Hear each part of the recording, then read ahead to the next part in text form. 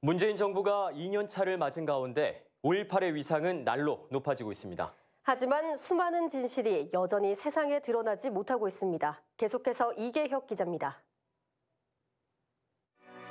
문재인 정부는 민주주의를 수호한 5.18의 위상을 강화하고 있습니다. 5.18 정신은 정부가 발의한 헌법 전문에도 담겼습니다.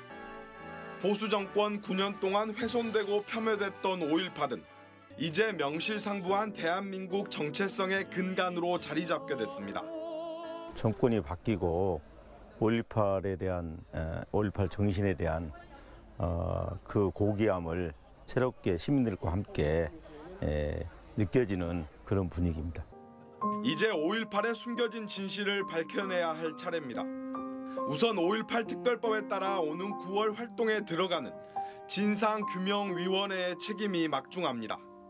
발포 명령자와 안매장지 등 수십 년 동안 풀지 못했던 과제부터 최근 불거진 집단 성폭행 사건과 미국의 진압 승인 의혹 등을 낱낱이 밝혀내야 합니다.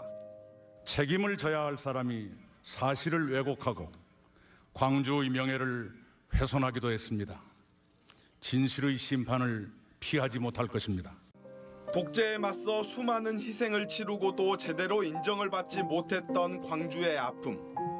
이제 광주와 5.18은 누구도 부인할 수 없는 민주주의와 정의의 상징으로 우뚝 서고 있습니다.